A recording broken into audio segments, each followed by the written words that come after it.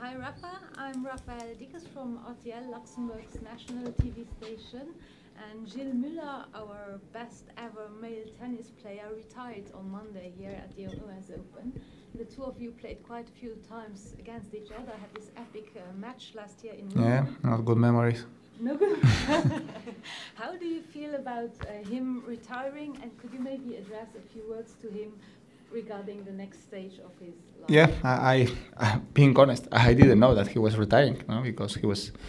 It's true that probably this year he was not having the, the result that he had uh, last couple of years. That he was playing great, but uh, he's still a very competitive player, no. But uh, he had an amazing career. Um, we know it, we know each other since long, long time ago, and uh, yeah, it's uh, it's fair enough that uh, he decides to to to stop. I wish him all the very best, and congrats for a for a great and long career. Uh, Rafa, talk about the importance about playing at night and on a day like this where the extreme heat rule was put into play. being honest, not that probably during the day is a little bit harder because uh, the the hot is uh, it was a lot these couple of days, but during the night the humidity is even higher. So yeah, both things are tough. Um, but good thing is I think things gonna improve the next couple of days. So we'll be able to, to see I think better tennis than what we saw the last couple the first couple of days of the of the US Open because playing under that conditions is first thing not healthy and second thing is not good for is good is not good for for nobody. No, it's not good for the fans, it's not good for the players. So the show is a little bit worse under these conditions. Yeah, questions in English? Have you gotten used to waiting around all day to play at night? And how do you kind of deal with, you know, shr- shrugging off the anticipation to, to come out and play? Sorry? Have you gotten used to, to waiting all day and, and killing hours to, to play at night? And how do you kind of spend that time during the day before you play at night? Nothing new for me. Just um, do my routine, just wake up a little bit later, go to breakfast, gym, some lunch, come here, practice a little bit, relax a little bit with the team, and that's it. Be ready for the match. Easy. Uh, What what happened exactly when there was the warning for the the serve clock expiring? It Seemed like you were maybe saying that Vasek had signaled or something, or asked you to slow down. Is that what it was?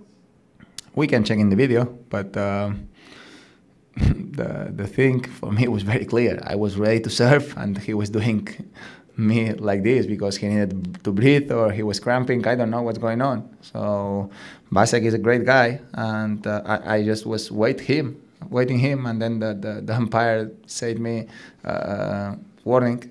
So I was very surprised, and uh, I was there. I was I went to the umpire and uh, saying, "Listen, I was waiting because he he needs. He, he asked me to wait, and he she told me really, because she didn't she didn't realize that was going on, and." Being honest, my surprise is that Vasek didn't came to the umpire and said, "That's that's what happened," and that that's all. That was I I was a little bit surprised that that was not that way.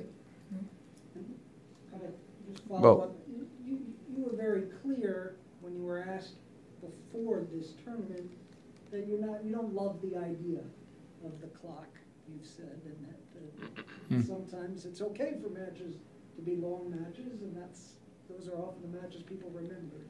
And I'm just wondering, now that you've been playing with the clock a little bit, what, what your opinion is I played in Toronto with the clock. Yeah, So my idea is, uh, when I say that before the tournament, you can check what I say because my answer will be the same. I play on Toronto with the clock. With the clock, uh, I the only thing that, in my opinion, is good uh, is uh, the umpires are doing a good job. Uh, if they are doing uh, the things uh, the right way, that they wait to put the clock on when the points are so long, is not a problem. Clock, in my opinion, is just part of the show. If they do it too strict, I believe that, uh, especially under some tough conditions, the show is worse because you can play a couple of points in a row, great rallies with with no time to recover. So, but in my opinion, they're doing a very good job. Last question in English? Thank you very much.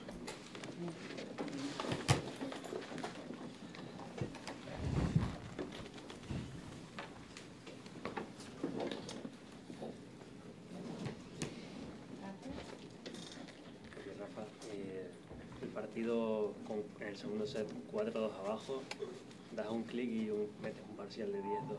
Puedes hacer una pequeña valoración del, del partido y, y qué cambia en ese momento.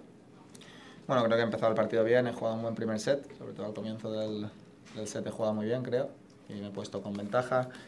También es verdad que con estas condiciones, pues eh, si uno se está sintiendo bien con el servicio, como yo me estaba sintiendo bien al comienzo del partido, pues en los juegos al resto, pues uno juega un poquito más agresivo y si va bien, va bien, y si no, pues no pasa nada, porque tiene el break, que esto es lo que habíamos hablado un poquito antes, y, y tampoco desgastarse mucho físicamente, porque el día estaba pesado otra vez, y creo que sí ha sido en el primer set, después en el segundo mm, todo ha cambiado, con dos juegos malos que he hecho con mi servicio, básicamente, ¿no?